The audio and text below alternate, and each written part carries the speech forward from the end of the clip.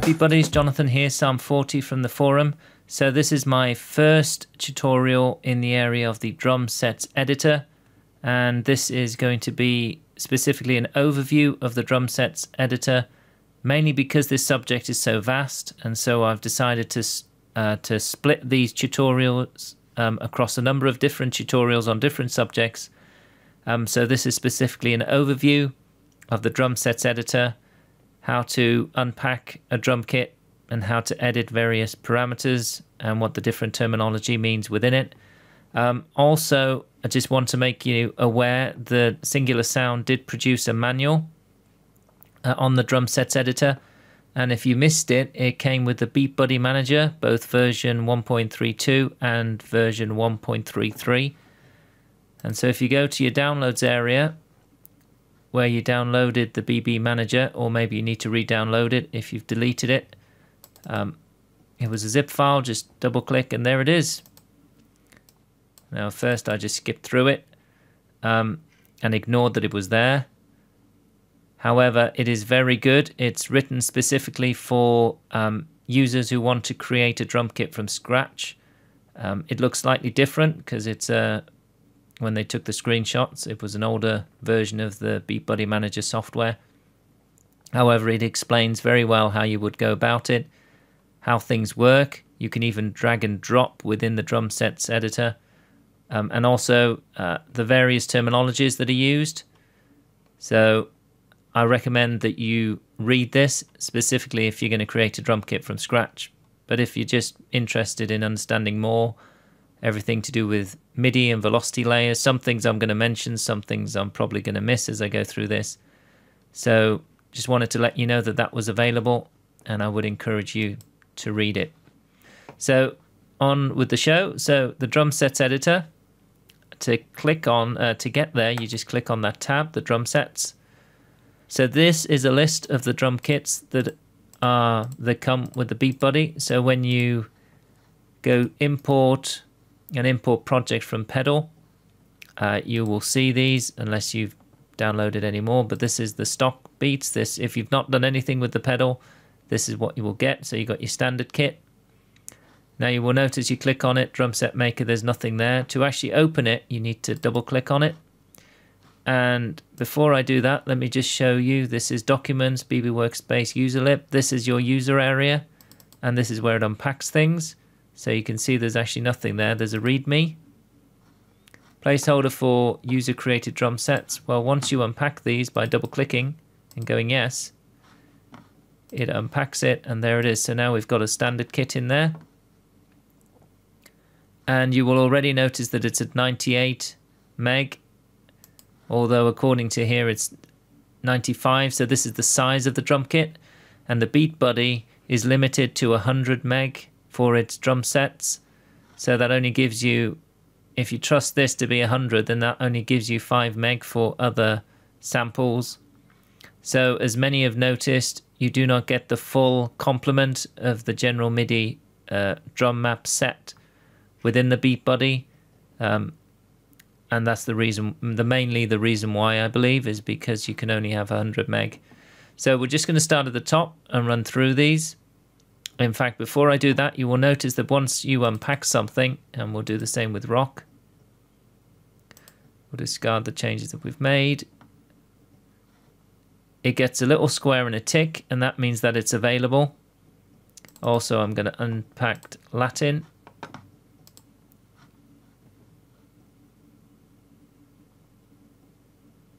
And also percussion.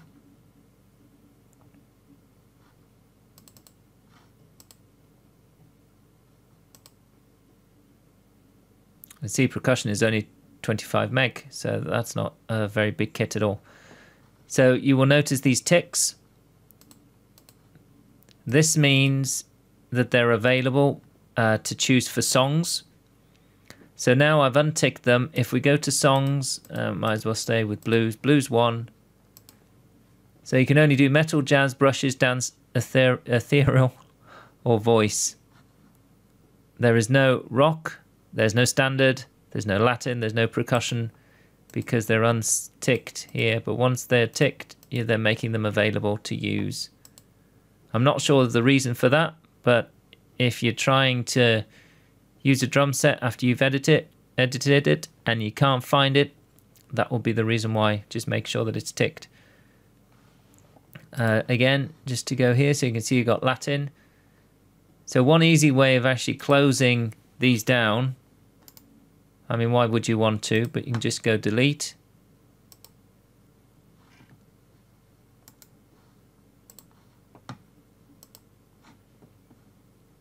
And that's the unpacked version. So you could also copy these. And we'll just put it in there for now and then you can re-import them from there. So I've actually now created a backup of the standard kit um, and we'll keep the, we'll reopen the, the Latin one so I can show you something later on.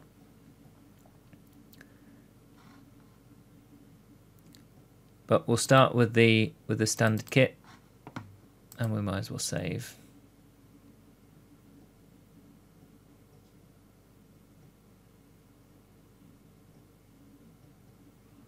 Took a bit longer than I expected. So this is the name of the kit, and this is the standard kit. You can right click or left click on that, and it will allow you to edit the name. So if we call it standard kit 1, uh, there's no OK button, so you just press the return key. And once you do that, it's updated, but it's not updated there.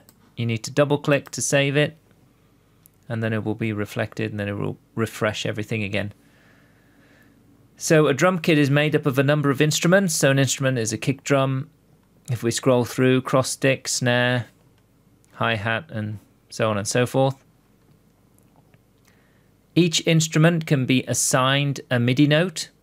So as you can see there, the kick drum is using MIDI note 36.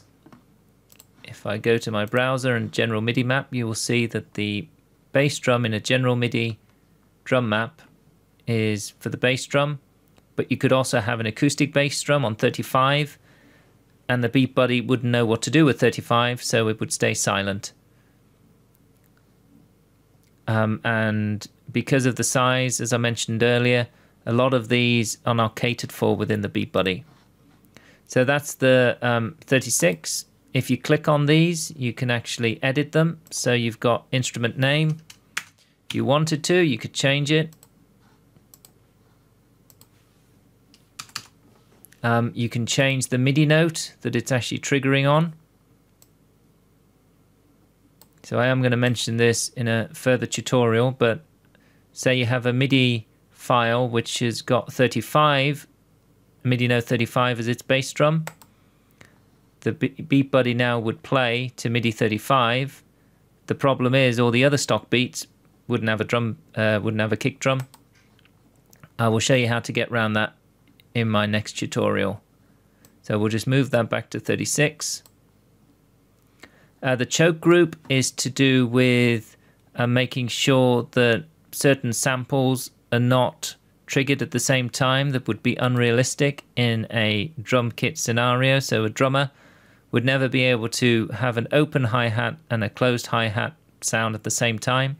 So to avoid that, you would just make sure those instruments are in the same choke group and then they will not trigger at the same time if you had a MIDI file that had that um, programmed. Uh, fill choke group is very similar. Uh, just to add, the choke group and the fill group is explained very well within the Beat Buddy Manager software. So if I've not made a good job of that, then um, and it still doesn't make any sense, go to the manual and um, it'll make more sense there. So the fill choke group is to do with um, avoiding flams um, and ensuring that fills work correctly. Again, uh, the Beat Buddy Manager uh, manual, uh, the drum set, sorry, the drum set manual is the place to go for more information on that. And then you've got the overall volume of the instrument. So currently the kick drum is at minus one. Just go OK to put that back to 36. So the instrument is made up of these WAV samples. So the quietest is up here and the loudest is down there. You can hear that has quite a thump to it. If we lower the volume to minus 10 dB, you can see that's a lot quieter. And so that's one way that you can change the um, the volume of certain instruments. Specifically, if you think the toms are too loud, you can turn them down that way. And then just save. We're going to put it back to minus one. And continue working through. And polyphony, again, explained in the manual itself, but I believe it's the amount of samples that will trigger at the same time. So we'll go OK. So those are clickable.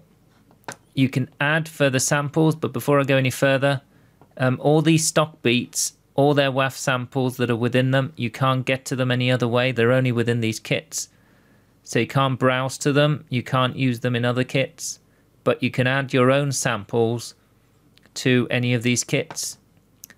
So one thing that the manual mentions is velocity layers, which is, well, sounds quite complicated to me, but basically it is each MIDI note has got a velocity attached to it. So if you press a key softly, you will get a low velocity, and if you hit it hard, you'll get a high velocity. And of course, the same applies to um, a drum kit. And these are all the samples that trigger to these different velocities. So if you have a MIDI file that has MIDI note 36, which is the kick drum, at a velocity of 100, it will either play that sample, that sample, or that sample. And there's an algorithm uh, within the beat buddy that chooses which of these it plays, so it's as random as possible because, like any drummer, a drummer will never hit a drum the same way twice. And so that's another reason why the Beat Buddy is so um, realistic um, and the samples sound so good. And also because it's got all these different uh, WAV samples just for the kick drum. So these are all the all the samples that come with the standard kit. As I mentioned, it doesn't have any percussion kits. To get to the percussion kit, you would you know, you could use the Latin, but the problem with the Latin is that a lot of these are non-standard general MIDI, so you've suddenly got conga 1 and 0, so these are great with the stock songs that come with the beat but very difficult to use um, with your own MIDI files. So that was just a general overview of the drum sets editor within the Beat Buddy Manager software. In my next tutorial, we're going to be talking about how to actually copy a drum set so you can then make changes to it without altering the original and also how to import a sample. So I'll see you in the next video.